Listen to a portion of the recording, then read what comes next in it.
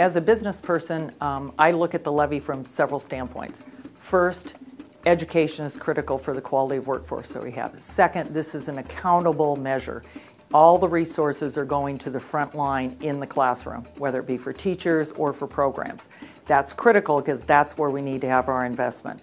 And third, all of us need to be concerned about the quality of life, and our quality of life is a direct correlation to the quality of the education of the people who live in our community. So I think all business leaders need to be supportive of this effort and really look at it.